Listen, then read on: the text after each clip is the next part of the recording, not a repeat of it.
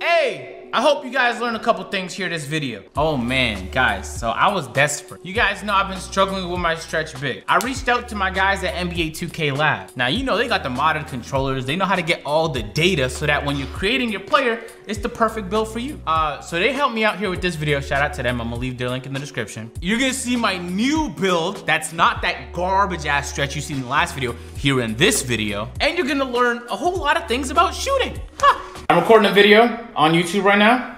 Instagram, say hi to YouTube.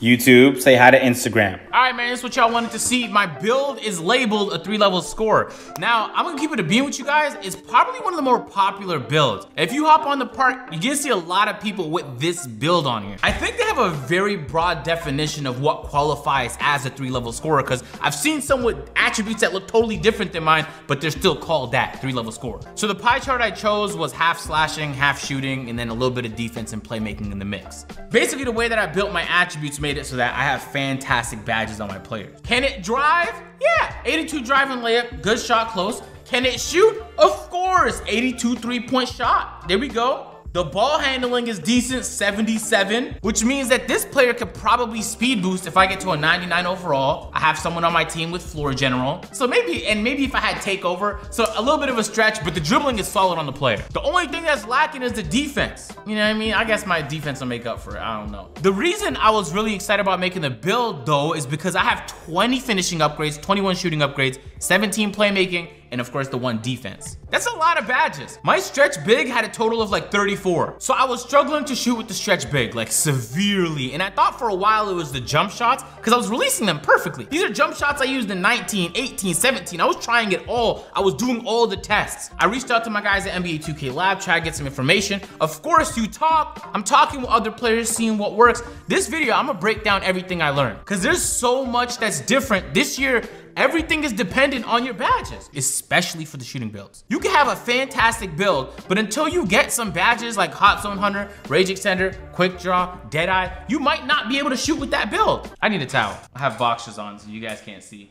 All right, first of all, caption this in the comments. This photo right here, it was in my last video. All right, so let's get started. This year, of course, quick draw plays a really big role. Previous years, we just assumed everybody would use what we now refer to as gold quick draw or the quick releases. But everything is so complicated. Look, NBA 2K Lab put out this tweet. Quick draw impacts some jump shots more than others. We have added a show details link to the jumpers table to display jumper speeds at each badge level. One thing we've noticed is sometimes bronze quick draw does not speed up the selected jump shot at all. So not only did they change the way that we adjust the speed of the jump shots, it doesn't even affect every jump shot the same way. So it's like, God damn, we gotta learn everything for a new jump shot. It might not apply the same. In the photo here, they use an example of Carmelo's release. And there's all kinds of data. There's a different release speeds and windows to green the shot. The windows look pretty consistent regardless of which quick draw you have on, but obviously the higher the quick draw, the faster your release goes off. But across the board, most jump shots have been slowed down or altered. If you were a fan of base 11 or Aldridge, base 9, set shot 13,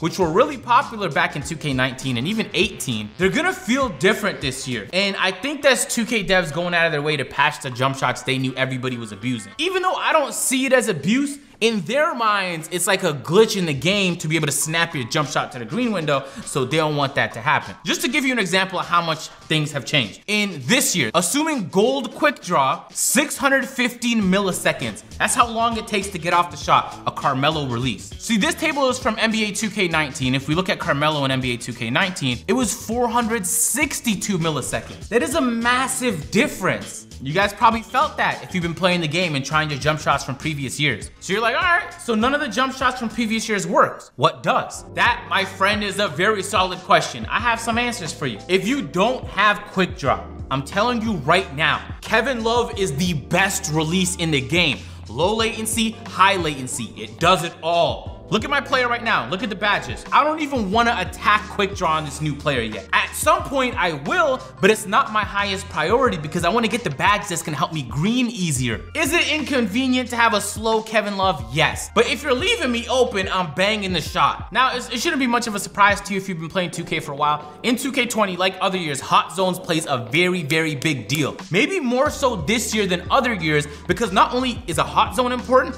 but you can attach badges to your hot zone so you just, it's out of the park.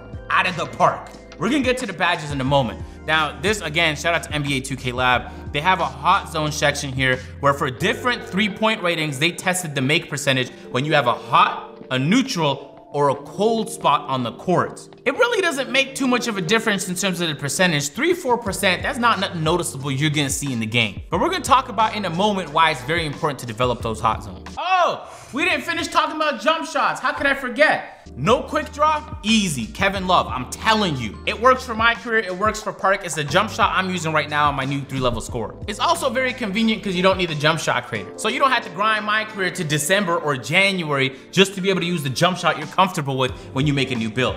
It's right there, it's available, just download it. If you have gold quick draw and you're playing on low latency, base 49 with Curry is the best jump shot flat out in the game, period. Unfortunately, I don't have the luxury to play on low latency. You don't need me to tell you, maybe I should because it's been a while since I made a video like this. It plays a big role. Base 49 is a really, really good base this year. So even if you don't pair it with the Curry Release 1 and Release 2 with Gold Quick Draw, you'll be fine. There's gonna be plenty of combos you can make with Base 49. Uh, I don't wanna go into like, cause NBA 2K Lab has a whole bunch of premium content and I'm not trying to show off all the information because that's how they make their money, it's their business. But Base 49, I'm telling you right now, very, very solid build. It's been solid since 17, 18, 19, and now 2K20. If you have Gold Quick Draw and you need a high latency jump shot, I don't know. You had to tell me. All the tests I've done with gold quick draw and high latency jump shots has been on my stretch big. And that build is horrible, so I'm not gonna use those tests as an indication of how effective a jump shot can be. I just won't. The same applies for Hall of Fame quick draw. But I'll tell you this, one of the bases that blew up out of nowhere this year, a lot of people are using Jump Shot 38. So whether you just use that straight up or you find a combo that you feel comfortable with, Jump Shot 38 is one of the most popular bases to start 2K20. So unless for whatever reason Mike Wang is playing discotheque and patches it anytime soon, you're gonna be very straight with that jump shot. Is it my cup of tea? Probably not. Would I rather have base 49? Yeah, but there's a lot of people using it, so there's definitely some merit. All right, let's talk about badges because it's like you can't even live without badges this year. You need badges. Are you gonna shoot the ball? Then get your badges. You gotta hit the my career because you won't, you won't be out there in the park getting cold spots on your player. All right, so I made a whole tier list for all the shooting badges and I consulted with a whole bunch of shooters. And of course, myself, the greatest shooter of all time. If we just ignore the last video I posted. This is what the tier list looks like, ladies and gentlemen. There's a tier S, tier A, B, C, D, and No Man's Land. No Man's Land, of course, is the badges that could be a S, could be a D. We really don't know. We just have to wait for NBA 2K Lab or I guess you know, empirical data to decide whether or not those badges can be effective. Without a shadow of a doubt, range extender is one of the, if not the most important badge in the game. It's, it's so priceless to be able to go from shooting at the three point line to step like four or five steps back at the hash. Not only does it make it way easier to grind my career and get rep, but you just allowed so much more flexibility. So without a doubt, that should be one of the badges you're focusing on when you're doing shooting. That goes without saying, limitless range from last year. This year though, it's even more important because it also applies to long twos not just long threes. So it's doubly important. You want the mid-range from 22 feet away? Go ahead, get your range extender. That's the first badge I got with my new build. It's unfortunate that it worked out this way, but yeah, quick draw is also a badge you're gonna need. Now, can you get away without quick draw? Yes. Is any decent team gonna give you enough time to be able to get a shot off that's 700 milliseconds long? No. But there are combinations you can do to your jump shot. Let's say your base is 745 milliseconds. That's a long ass time. You could add certain releases to it like Larry Bird that will help speed it up. I don't know if it's gonna be money, but there's definitely ways to speed up slow releases. So for a lot of people, quick draw is gonna be the most important badge. So it's a tier S, without a doubt. And out of nowhere, ladies and gentlemen, who would have expected Hot Zone Hunter is a tier S badge. Yo, cause when you read the description, boost the shot percentage for attempts taken in a player's favorite spots, you don't think much of it. But because this year's shooting is so different, in previous years, you just tried to shoot as good as possible. If it was a white, it probably hit. If it was a green, it definitely hit. But this year, whites miss a lot. And so at the beginning of the year, a lot of people were looking at badges like flexible release to see maybe that could help mitigate the problem. If I'm shooting all whites, maybe flexible release can help me hit those shots more consistently. You couldn't be more wrong, ladies and gentlemen. Davis was telling me this since like day two, and I didn't believe him at first. He's 100% correct. Hot Zone Hunter is one of the most effective badges in the game. You're gonna go from shooting all whites to greening all of that if you have your hot zone. The hot zones don't make a big difference, 64%, 64%, 64% if you have a 99 three-point shot. Like maybe we're looking at 8%, 4% differences between neutral to hot. But once you pair it with hot zone hunter, it's wraps. So I'm being very serious. That should be one of the first badges you get. One of the first badges I got. Now we're moving on to tier A, ladies and gentlemen. Tier A, of course. Starting off with catch and shoot. You're gonna catch the ball a lot right? Do you want like a 20% boost to your shot when you catch it? All right, then just put on catch and shoot. That goes without saying, it's been in the game for a while. Same goes with Deadeye. Especially if you're a sharpshooter, you should most definitely be focusing on Deadeye. It helps you shoot contested shots more easily. If you're a taller player, maybe you don't need that help, but maybe it'll help make you even more lethal. Have you thought about that? It's kind of weird the way the shot contests register this year. I'll be all over somebody and it'll say like 4% contested. And then I'll be behind a guy jumping and it'll say like 58% contested. Yeah, catch and shoot and Deadeye are staples. They've been one of the most effective badges for sharpshooters for us like three, four years now. Tier B, corner specialist, green machine, and difficult shot. Now, the reason corner specialist is not tier A is because when you're shooting in the corner, most of the time, it's off a catch and shoot. So you might as well just equip catch and shoot because it's gonna apply in more situations. On top of that, I don't know if this is widely known, but just because you don't have bronze, silver, Hall of Fame catch and shoot does not mean you don't get boosts when you catch and shoot. You still get a boost, it's just not as much as if you had the badges. Green Machine is one of the new badges, description reads, increases the bonus for consecutive excellent releases. If you're a sharpshooter, no brainer. If you have like five upgrades, maybe don't touch Green Machine. Hot Zone Hunter is more important. Green Machine though does have the potential to climb to a tier A potentially. This year, the name of the game is not trying to hit whites, it's trying to hit as many greens as possible. And any badge that helps you do that should be one you prioritize. Difficult shots, I've heard on and off about this build. I'm not, I'm not really sure. I've talked to shot creators, they say, yo, the badge doesn't even pop up a lot of the times, even when I'm fading. And I've talked to other people that say it's made all the difference when it comes to making their fading shots. If you have like 20 plus badges, you should take a look at it. If you have less than 20 badges, I would just focus on all the other ones we spoke about. Tier C, flexible release, tireless shooter, hot start, pick and popper. Pick and popper, obviously, because a pick and pop is a catch and shoot. Just get catch and shoot. Hot start is one of the new badges they added to the game, improves the player's shooting ability after making the first shot until a miss occurs. I'm not gonna lie to you, this has a potential to climb up there, but for all intents and purposes, I'd rather have Green Machine and Hot Zone Hunter. Tireless Shooter is the one I'm a little bit iffy about, because if you're playing Park, you're probably fine. You probably don't need it. But if you're dribbling OD and out of stamina a lot, or you're playing Pro-Am and so by the fourth quarter you're gassed, it could be a useful badge. I can't see a situation in which I'm getting it over anything that's tier B, A, or S, but it can be useful. I know a lot of people are asking for stamina buffs. There's a chance Mike Wang might adjust the stamina even more. And so if they do, then this badge is gonna be incredibly useless. But for now, we're gonna keep it at tier C. And probably the most important badge because a lot of people have been asking questions about it. And shout out to NBA 2K Lab because I reached out to them and I was like, yo, I have to know because everybody's talking about flexible release. Can you get the data? That's exactly what they did, ladies and gentlemen. Flexible release is a tier C badge. Here's why. To test flexible release, we use a creative player to take corner threes at various timings. We took shots inside of the jumper's green window, as well as a 10 millisecond, 25, 40 millisecond outside the green window. To take these shots, we use a creative player using Curry's jump shot with a 75 three-point rating and shot corner threes. We use this player to test the make and green percentage for each badge level. To help you relate the timings, you can use the images below. Flexible release reduces the penalty suffered from mistiming jump shot releases. So when you initially hear that, you're like, all right, I'm not gonna mistime my jump shot. I don't need that useless badge. But then you play 2K20 and everything is all whites, especially before you get your badges, and you start thinking to yourself, hold on, flexible release might just be the greatest badge in the game. But once we look at this data here, it doesn't look like it. Now, the brown here is bronze, silver of course is gray, gold is gold, and purple is Hall of Fame. If you're shooting inside the green window, it's irrelevant. If you look carefully though, 10 milliseconds, 25, and 40. The worse you release the ball, the more helpful flexible release is. But if you're releasing the ball 40 milliseconds off the time, then I don't even want to play with you. Why are you a horrible shooter? So the thinking is, is if you're if you have an all white, flexible release will help you hit the shot. But even when you look at the 10 millisecond graph here, if you have bronze, it makes a 1% difference. Silver, it makes a 2.5% difference. Gold is 7.5%. And Hall of Fame is 11.5.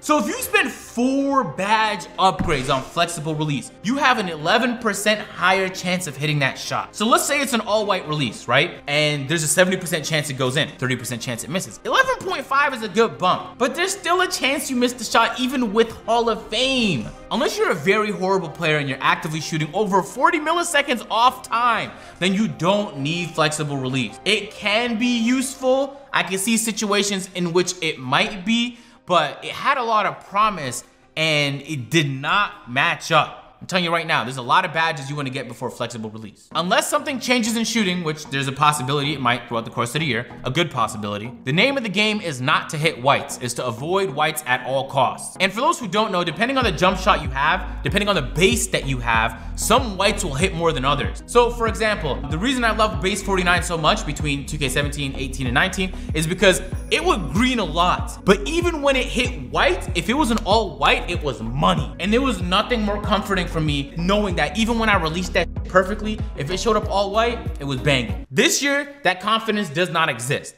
But still, the base does matter when it comes to these all whites. So if you notice you're getting more all whites than the next man and you got the same build as him, then there's a good chance you're release. It just might be your release. Tier D, we're talking about steady shooter, clutch shooter, ice and veins, and pump fake maestro. Steady shooter reduces the penalties for contested shots and bonuses for open shots. Mike Wang clarified and I talked about it in a couple of videos. Steady shooter does not look helpful. If you want to hit contested shots, focus on Deadeye. It's been proven over the course of all 2Ks, it's always been a useful badge in the game. Steady shooter, on the other hand, gives you, you're not trying to miss open, are you? I, if you start missing open on my team, we're gonna have problems. Now, I'm a little bit hesitant putting clutch shooter this low on the list. My thinking is that it only applies to the last shot of the game. But if for whatever reason, let's say you're on the park and the score is 10-10, and then it triggers, so for the second half of the game, you're shooting lights out because of the badge, maybe it's a tier B. But we don't know enough about the badge. And honestly, I'm pretty pessimistic about it. If you have all these other badges that can help you green and stay hot, you got the hot zones, you're on fire, then you don't really need no clutch shooter. You're gonna be hitting your shots regardless. Ice in the veins improves the player's free throw percentage during critical moment. That's why it's tier D. You don't even need me to explain that. And pump fake maestro, uh, what was it? Like you can, you have a better percentage chance after a pump fake? What, why? Deep fades, slippery off ball, and volume shooter are all question marks. They could be ass, they could be amazing. I'm gonna try my hardest to take a look at volume shooter first. It was a badge that was in NBA 2K16 and everybody hated it, but they reintroduced it in 2K20 and it's a totally different badge. It just has the same name. Boost shot percentage as shot attempts accrue throughout the game. Especially if you're a sharpshooter, you're putting up four or five shots in the park, could be useful. It could most definitely apply on the Pro-Am where you might be putting up 10, 15 shots in a game. And deep fades. I Ideally, I should put deep fades low on the tier list, but I'm so optimistic about the possibility of being able to hit high post fades with Hall of Fame range extender, Hall of Fame deep fades, and a pure sharp because you have like a 90 fadeaway. They gave you so you could, you might be Kobe this year. We're gonna have to wait and see. We have, we just need people to play with it. So that's all the shooting badges in the game. Shout out to 2K Lab. They've been incredibly useful and I know they're grinding right now to get all the information on all the other badges. But that's not all. They changed a lot about shooting this year. One of the things Mike Wang talked about on Twitter was the shot meter. This year, if you turn off your shot meter, you'll get boosts when you release the ball really well, but you also get penalized more when you release the ball poorly. So if you're very comfortable with your jump shot and you don't change it often, turn off your jump shot meter. I like it. It's a good concept. So far in practice has been working really well. I haven't noticed any incredible boosts, but it's also, I don't have like a final jump shot yet. I'm using Kevin Love right now. Uh, NBA 2K Lab, though, uploaded this video titled, Should I Turn Off the Shot Meter in 2K20? So we're gonna take a look at it. The results are pretty clear, and as you can see by the graphic, Aldridge's green percentage went up 6.5%, and the make percentage went up 3.5% when perfectly timed, all right? So Melo's green percentage went up 6.5% as well but the make percentage went up 4% opposed to Aldridge's 3.5, also when perfectly timed, all right? Mike Wang's tweet, he said they would penalize you if you didn't time it right. So you really have to know your jumper and be comfortable yep. with it. So it's not massive boost, but if you don't need the shot meter, just turn it off anyway. You know me, I've been saying for a while, if you wanna shoot good in 2K, stop looking at your shot meter. If you develop a jump shot that gives you an easy cue on when you need to release the ball, then you're money. I don't look at my shot meter, I look at my player. So the second I find a jump shot I'm comfortable with, the first thing I'm doing is turning my shot meter off. I don't need it. You'll still know when you greened your release because it'll have a little splash onto your player. And this year, they give you more information on the shot feedback, so you'll know exactly how you perform. So you'll know how the jump shot did, you'll get that information and feedback. At the same time, you get the boost associated with not having the jump shot meter. So if you feel that comfortable with your release, that's an easy no-brainer. Um, I'm gonna make a follow-up video once I find some good gold and Hall of Fame quick draw releases. I've been talking to other people and they've been giving me jump shots, so I'm gonna try those. I'm gonna try my own. I'm gonna try and find something that works. Problem is, I shoot in high latency. So if you guys are low latency, you live in like Washington, D.C. or Virginia right beside a server, it's not gonna really apply you. I'm gonna do the test anyway because I wanna find the best jump shot. Hey, if you guys enjoyed the video, you found it helpful, you already know what to do. I don't even need to tell you, all right? But there are four videos on the screen. That's odd. There's only three this time. Huh. All right then. Catch you guys in the next one.